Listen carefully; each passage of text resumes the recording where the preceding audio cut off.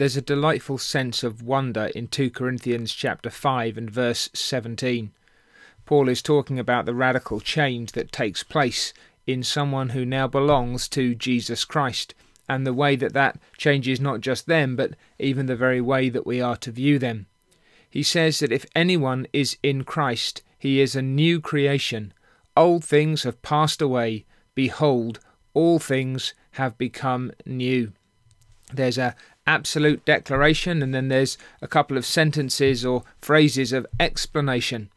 If someone is in Christ, if anyone is in Christ, anybody who has now been joined to Him by faith, they are a new creation. There is a radical change in them. It's uh, a change that begins in the inside and works throughout the whole of our humanity. It is a truly fresh start. It is an entirely new beginning. The same power by which a world was called into being at the beginning is now at work in every believer, so that there is in them this entirely new beginning. What that means for the Christian is that the old things have passed away. They are gone, and they are gone for good the old way of life, the old appetites and attitudes, the expectations and desires, the, the miseries and the uh, dreadful gloom that lies ahead at the grave. These things are all swept away once and for all. There is no longer any part of them in the life, in the experience, in the expectation of the believer.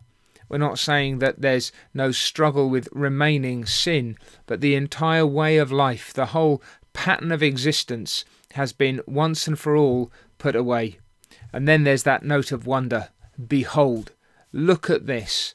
I wonder if there's something there of that sustained sense of the amazing grace of God that was in the Apostle Paul, who remembers what it was like when he, breathing out threats and violence against the disciples, was confronted by the risen Christ on the Damascus road.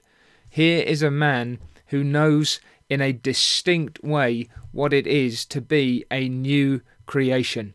For him to say the old has gone and has gone for good means that he must say with an air of wonder and humility, Behold, the new has come.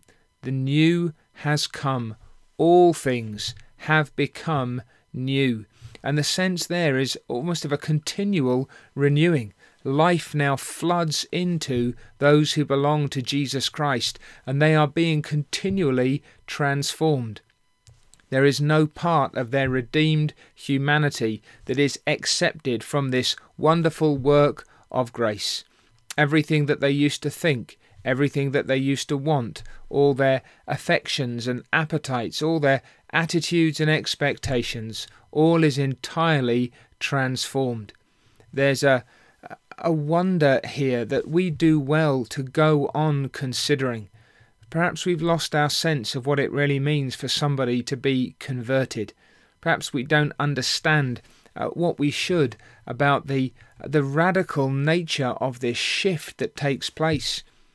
For example, maybe we still have too low an expectation, or we're, we're too accustomed to people who say that they become Christians, but uh, there's no corresponding change in their life. But when somebody is in Christ, that one is a new creation.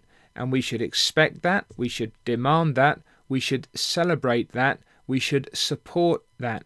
We should anticipate that the old pattern of life should once and for all be swept entirely away, that there would be a radical break with the whole direction of life, and that the person who's now in Christ is transformed and being transformed that that new reality that life in the soul is now going to work its way out insistently and consistently through every part of the existence through every room in the house if you will so that the whole building of your life is renovated under the new ownership of the Lord Jesus Christ so let us pray for such a change let us anticipate such a change. Let us pursue such a change and cultivate it and encourage it in ourselves and others in dependence upon the Spirit of Christ, by whom we have new life in Him and become a new creation.